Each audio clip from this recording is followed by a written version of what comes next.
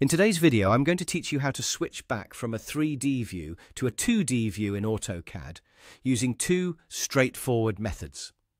This process can come in handy if you find yourself working on a project where a traditional 2D view is more beneficial for your needs.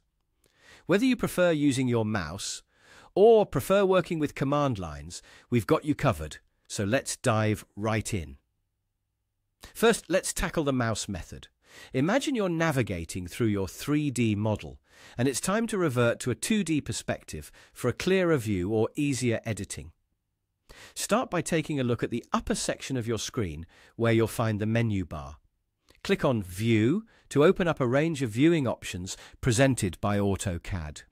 Here, you'll want to locate and click on 3D views to manage how your model is displayed.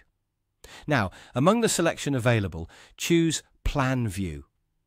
This option is what will allow us to move back into a 2D plane.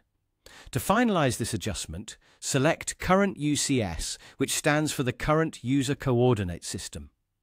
By doing this, your view switches into a direct 2D perspective aligned with your current working plane, allowing you to see and manipulate your drawing in a two-dimensional space. Now, let's move on to the second method using the command line. For those who prefer typing commands directly, this is a quick and efficient alternative.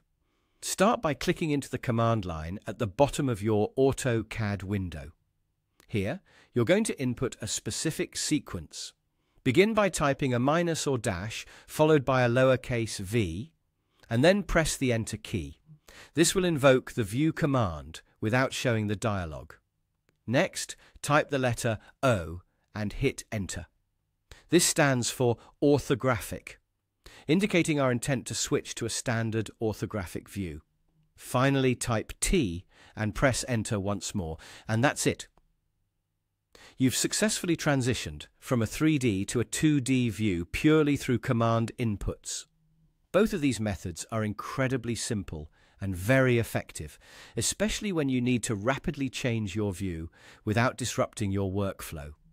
Knowing how to easily toggle between different viewing modes in AutoCAD can significantly enhance your efficiency, whether you're deep in design or finalizing a detailed plan. I hope this demonstration provides you with the clarity and understanding you need to make this transition effortlessly. Try out both techniques and see which one works best for your workflow. Thanks for watching and happy drawing.